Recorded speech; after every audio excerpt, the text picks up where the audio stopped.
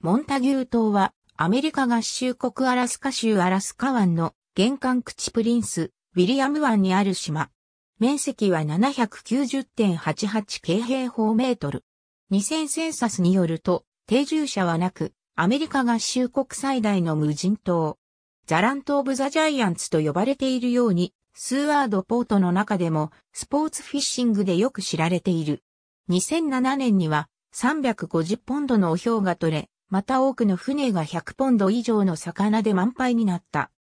2012年5月のセンターフォーアラスケンコースタル、スタディーズの発表によると、島の沿岸の生態系は吹きつける風と東北地方、太平洋沖地震の津波の影響で、前例のない量の海洋ゴミにさらされている。ザ・マリーン・コンサーベーション・アライアンス・ファンデーションの資金援助により、2012年5月22日から大規模な清掃活動が始まった。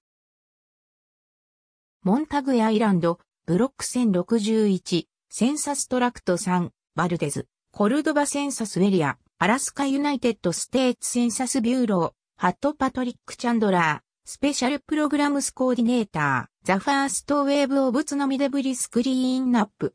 Center for Alaskan Coastal Studies http コロンスラッシュスラッシュ www.akcoastalstudies.org スラッシュデータスラッシュ the パーセント20 first パーセント20 wave パーセント20 of パーセント20 tsunami パーセント20デブリスパーセント20クリーンナップ PDF2012 年5月24日閲覧。ありがとうございます。